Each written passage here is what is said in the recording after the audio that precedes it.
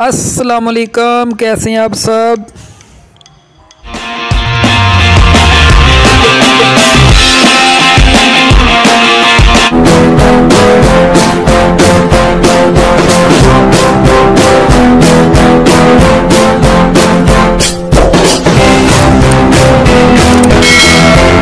हम चने की बनाई करने लगे और ये देखे चनों को हमने जो है एक कप हमने नमक गरम किया, उसके अंदर फिर हमने हाफ़ कप जो है चने डाल दिए और अब इसको हिलाते रहना, तेज़ तेज़ इसको हिलाते जाना हिलाते जाना। अगर आप नहीं हिलाएँगे तो ये नीचे लग के फिर ये जल जाएँगे, फिर सारे काले हो जाएँगे।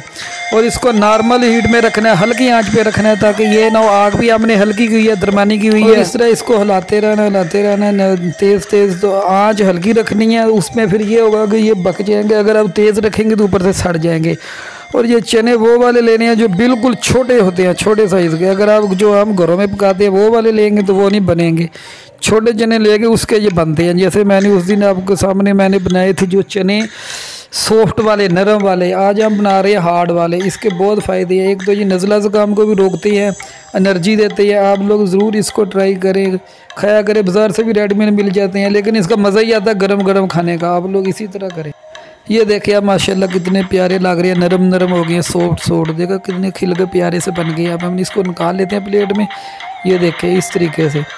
और इसी अगर आपको ये मेरी वीडियो अच्छी लगी है तो आप ज़रूर मेरे चैनल को सब्सक्राइब करें, ताकि मेरा चैनल आप लोगों की मदद से ग्रो हो।